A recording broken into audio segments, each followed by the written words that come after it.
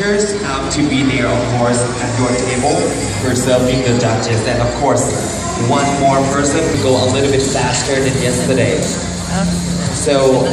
maximum two people are allowed